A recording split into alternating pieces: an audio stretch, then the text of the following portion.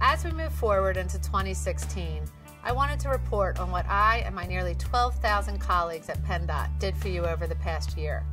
We started work on nearly 600 road and bridge projects worth nearly $2.5 billion. That's almost double what we could do about two years ago. We worked on more than 6,000 miles of pavements last year. We are fixing more bridges and making headway against the backlog of bridges in need of immediate repair. We have reduced the number of structurally deficient bridges by 2,000.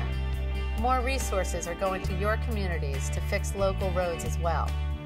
Local communities will receive nearly $434 million this year, a 35% increase from only two years ago.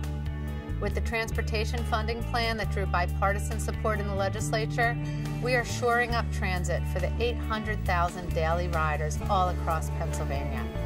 And we're delivering on Governor Tom Wolf's promise of government that works.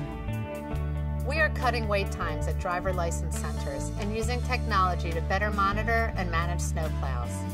We're also upgrading our website and added a new one to tell you about projects underway and coming your way.